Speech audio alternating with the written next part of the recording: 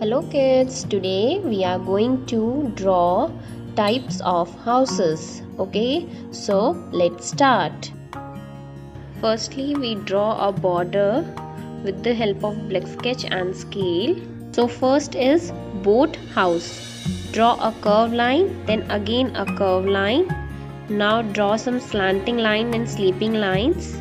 Now draw square shape for the window and rectangle shape for the door okay and now draw some water. Now boat house drawing is complete. Now do outline with the black sketch pen and erase extra lines of pencil.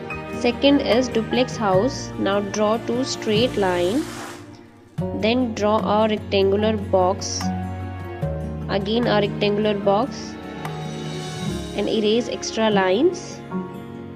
Okay now draw a rectangle shape for the door and square shape for the windows now draw balcony with the help of straight and slanting lines.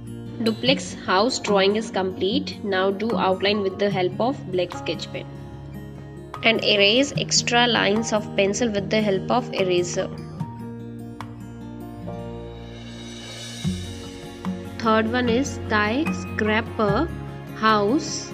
Firstly we draw two straight line then draw a rectangle shape again a rectangle shape.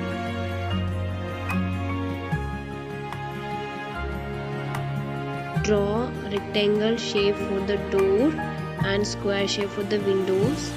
Then rectangle shape draw for the balcony and square shape for the windows. Okay you can add more floors in skyscraper house. Okay. After completing drawing you will do outline with the black sketch pen. Next is igloo. Now draw a straight line then draw a curve line. Okay? Now again we draw a curve line or you can draw a u shape also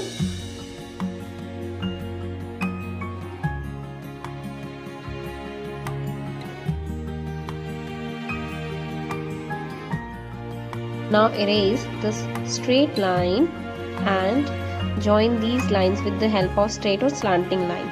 Okay. Now join this with the help of a curved line here also.